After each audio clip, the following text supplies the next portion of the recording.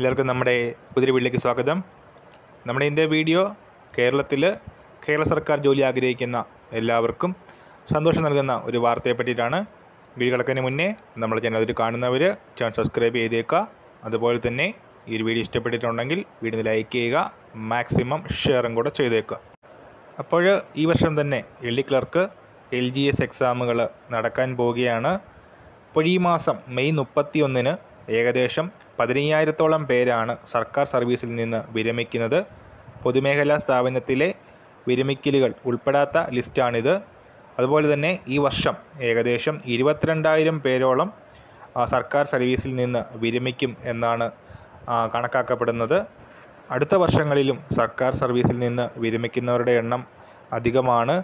So ഇതിനാനുപാതികമായിട്ട് entry cadre ഒഴിവുകൾ ഉണ്ടാവുമ്പോൾ L G S L D S E അതുപോലെ തന്നെ സി പി ഒ പോലെയുള്ള ഒഴിവുകളിലേക്ക് നിരവധി അവസരങ്ങളാണ് ഉണ്ടാകാനായിട്ട് പോകുന്നത്.